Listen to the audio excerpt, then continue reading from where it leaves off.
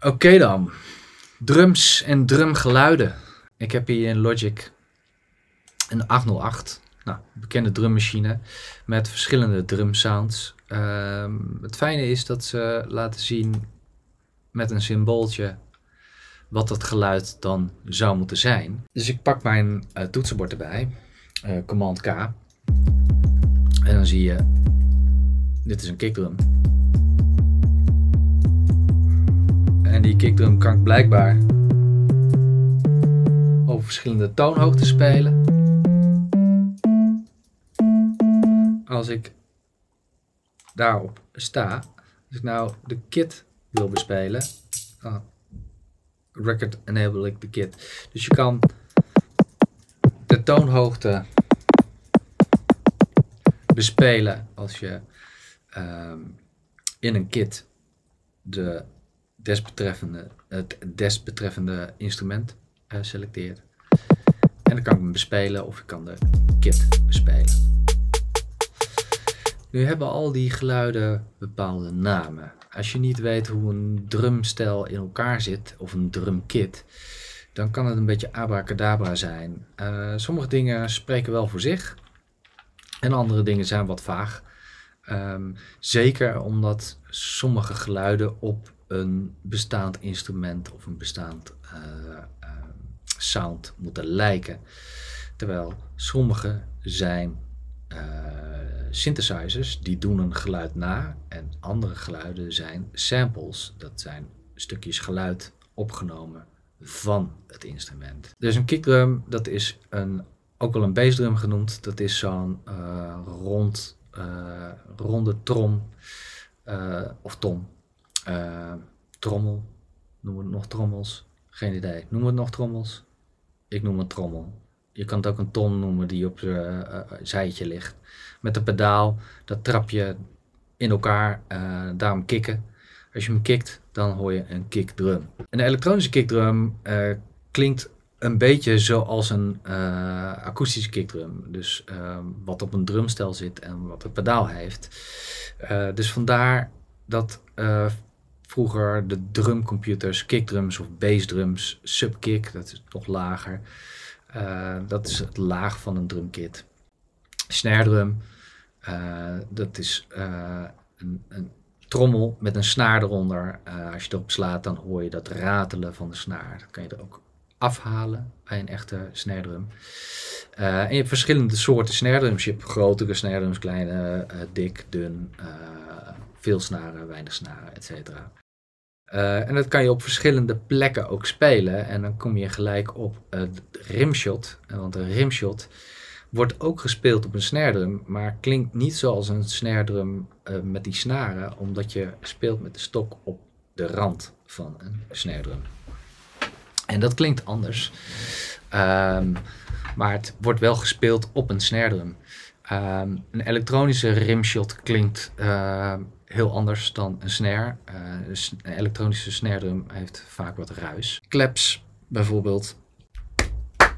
Klappen spreek voor zich, maar een elektronische klep klinkt uh, wel anders. Het heeft er wel wat van weg. Eén klinkt realistischer dan de ander, uh, maar wordt dus met een synthesizer gemaakt. Snap, fingersnaps moet een beetje dat nadoen. Lijkt er wel op. Dan hebben we nog bekkens of cymbals in het Engels. Een hi-hat uh, zijn die twee bekkens die op elkaar liggen. En daar heb je een pedaal. En als je de pedaal indrukt, dan liggen de bekkens op elkaar. Dan is het een closed hi-hat. Uh, laat je hem een beetje open, dan is het een half open of een open hi-hat. Dat zijn de verschillende sounds die je uit een hi-hat kan halen met het pedaal. Uh, je kan het pedaal ook indrukken zonder met een stok erop te slaan en dan heb je een pedal hi-hat. Een geluid, een synthesizer, wat dat min of meer nadoet. Uh, dus sommige kits, sommige drumkits, sommige elektronische drummachines hebben uh, closed hi-hat, open hi-hat, pedal hi-hat, soms ook half open hi-hats. Dus dan liggen die bekkens half open op elkaar. En ook daar heb je veel klankverschil in, in akoestische drums en in elektronische drums. Kun je je wel voorstellen dat je verschillende bekkens hebt. Verschillende materialen, hoe dik, hoe groot, hoe die wordt aangeslagen, waar die wordt aangeslagen, hoe hard die wordt aangeslagen. Dus er zijn veel verschillende sounds in te krijgen. Een crash en een ride zijn allebei uh, of bekkens die je ook aanslaat, maar dat is een symbaal wat uh, zweeft of hangt. En de crash klinkt meer als een crash en een ride is vaak uh, op het bekken heb je een soort belachtig, een soort bol. En die wordt vaak gebruikt. Je kan er eigenlijk twee verschillende, uh, groot verschillende geluiden uitkrijgen.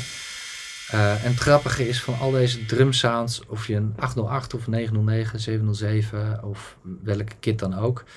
Soms klinkt een crash of een ride uh, of een snare uh, redelijk in de buurt van hoe een echte akoestische snare of een cymbal zou klinken.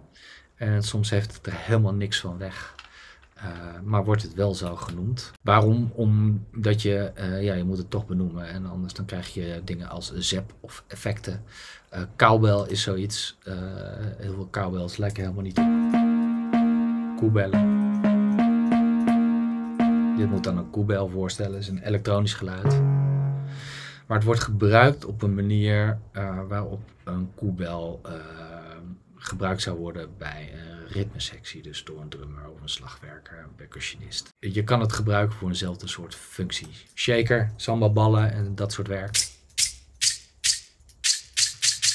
Soms heel, heel realistisch, soms is het uh, een sample, soms is het een synthesizer, soms is het gewoon een beetje ruis. Tamboerijn, zo'n ring met van die uh, kleine cymbaaltjes eraan. Dan toms, ook vaak elektronisch uh, opgewekt. Een drumkit is een verzameling van uh, verschillende drum sounds. Als je in een andere DAW werkt, uh, wat niet zo visueel is aangelegd, dan zie je bijvoorbeeld 909 kit, bassdrum. Nou, zo klinkt een elektronische bassdrum of kickdrum. Hele korte, hele lange, rimshot op de rand van een snare. Dat lijkt meer op een snare drum.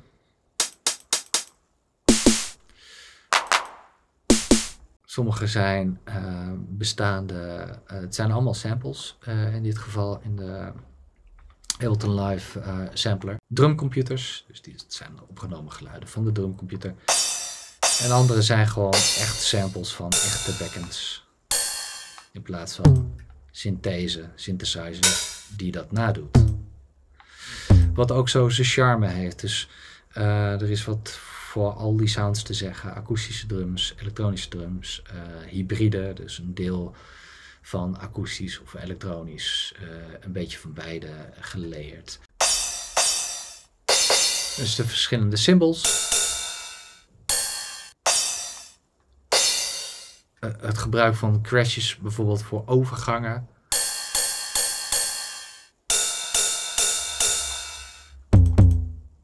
Percussie zoals toms, ritmes mee te bouwen. Een standaard groove of een fundamentele, een fundamenteel ritme met kickdrum, snare drum, rimshot, de hi-hats. Dus als je wel hoort, snare drum, lange snare drum, korte snare drum, soms hoger gestemd, lager gestemd, etc. Uh, dus hier even de uh, akoestische versies, maar dan op een iPad. Dan zie je het even visueel wat de verschillende sounds uh, zijn. Goed, elektronische drum sounds. Uh, het komt natuurlijk af van de akoestische drumkit. En dat is eigenlijk een verzameling van, nou ja, um, potten en pannen zou je kunnen noemen. Trommels en bekkens. En dat is natuurlijk in de loop van de tijd ontstaan. Dus het is eigenlijk een verzameling van verschillende percussie-instrumenten of slaginstrumenten waar je op kan slaan. Uh, en op verschillende manieren kan bespelen. Drumcomputers hebben die namen eigenlijk overgenomen, omdat nou ja, dat waren al bestaande geluiden en namen en dat waren we gewend. En vandaar die namen bij elektronische drums. Uh, dat kan verwarrend zijn, dus bij deze even wat sounds van GarageBand op een iPad. En te beginnen met de kickdrum. De kickdrum uh, of bassdrum, dat is wat je inkikt, het pedaal. En klinkt dus laag en is vaak het fundament van uh, een groove. Um, dan heb je de snare drum en dat is de trommel hier en daar zit de snaren onder. En die kan je op verschillende manieren bespelen. Dus waar hem bespeelt, hoe hard je hem bespeelt en op de rand. Dus dit is elektronisch. De snare drum kan snare drum 1 zijn en snare drum 2, aanslaggevoelig. En een rimshot is op de rand van de snare met de stok slaan. Dan hebben we nog de hi-hat. Uh, hi-hat zijn twee bekkens op elkaar met pedaal. Pedal hi-hat. Open hi-hat. Closed hi-hat. Pedal hi-hat. Dus verschillende sounds te halen uit twee simpele bekkens met een pedaal. Crash en ride, twee cymbals of uh, bekkens. Vaak wordt een crash gebruikt voor overgangen of om iets te benadrukken. Klinkt vrij lang door. En een ride cymbal Klinkt veel metaliger, uh, ook wel lang, maar niet zoals een Crash. Vaak andere grootte en een andere, andere manier van backup produceren. Ook bij een ride heb je verschillende manieren van spelen waar je speelt op de bel op de rand.